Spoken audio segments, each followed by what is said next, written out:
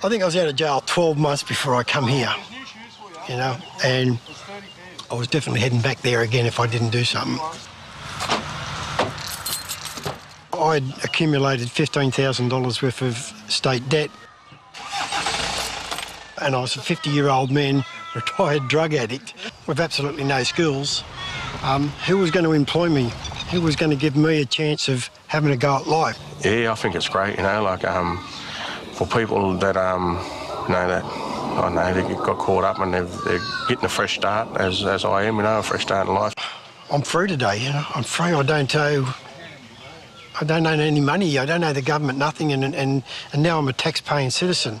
You know, I walked into the place and I had sort of no will and I had no hope, and you know, I was that down and out. I, you know, I've sort of done that to myself. Yeah, I did have a debt, something like sixteen thousand. I know it was a lot of pressure on myself. I was, you know, flat out at work and and um, you know, and I just had a, a bit of a drinking problem that sort of got out of hand.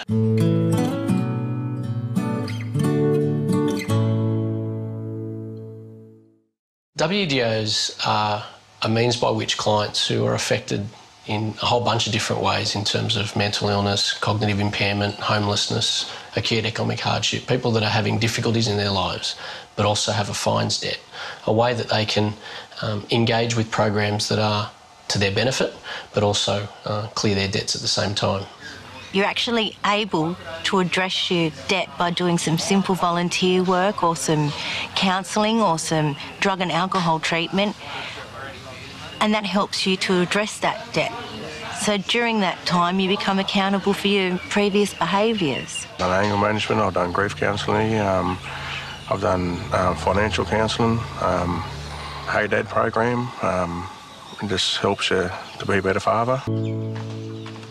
Hey Tom. Hey Lisa, how How going? are you? Good.